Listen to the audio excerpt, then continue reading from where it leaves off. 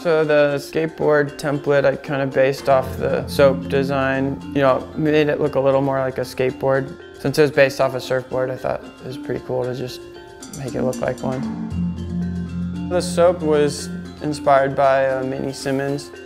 The Simmons design is based from the 50s and it's shrinking down this old 10 foot board down to say five or six feet. They really provide a lot of effortless glide and speed, a lot of hold while doing high speed carves. It creates a, almost a skateboard-like feeling.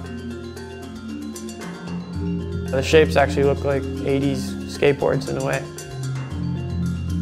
I ended up calling it the soap because I was surfing one day and one of my good friends like, it looks like you're riding a little bar of soap because sliding around real fast up and down the wave and I felt like you could kind of go wherever you wanted on the wave with it and effortless speed and glide and still had moments of trim and also you could once you got the board wired you could still go vertical and throw your fins out and do all sorts of fun stuff.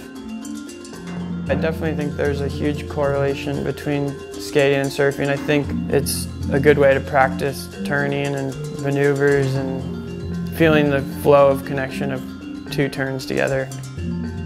I think with carvers you can really you know emulate a surf style that you either want to achieve or know how to do.